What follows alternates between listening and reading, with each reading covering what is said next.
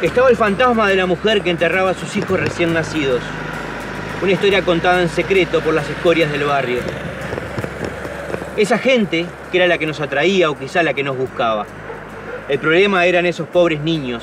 Nadie sabe cuántos fueron, ni dónde quedaron los cuerpos negados y las almas que no llegaron a crecer. Ella aparecía en el terreno accidentado de la vieja pulpería. Ya no quedaba nada del edificio original. Una pared ladeada y cuatro piedras marcaban el antiguo boliche sobre la calle Fortet. Nosotros íbamos cuando la luna crecía y los perros salvajes rodeaban el lugar. Si estábamos cerca, corríamos hacia allí. Los perros nos ignoraban. La mujer cantaba un rato y se desnudaba. Sentada en un mármol coronado por yuyos, abría sus piernas.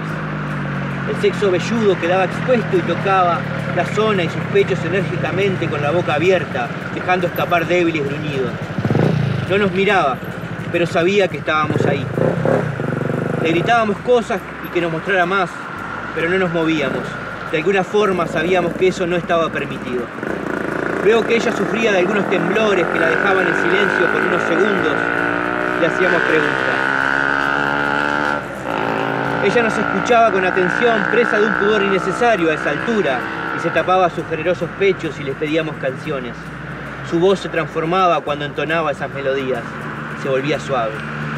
Sabíamos todo de su historia, cada detalle. Ella había venido a trabajar en las curtiembres siguiendo a un hombre que había amado. Nunca logró retenerlo. Él viajaba por todo el país como vendedor y a su regreso la visitaba, le hacía hijos, se emborrachaban con caña, fumaban en la cama y robaban ciruelas del vecino y luego el amante desaparecía.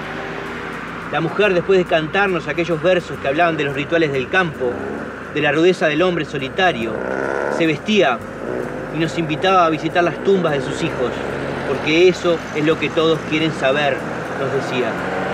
Daba media vuelta y salía del marco de las cuatro piedras. La verdad era que el hombre al que había seguido en el pasado había sido parroquiano allí. La mujer, llena de esperanza y deseo, iba a buscarlo y claro, no encontraba más que ruinas y hojas secas. Vengan conmigo, yo les voy a mostrar dónde están. La seguíamos con el corazón retumbando en la noche y violentas erecciones que empezaban a calmarse.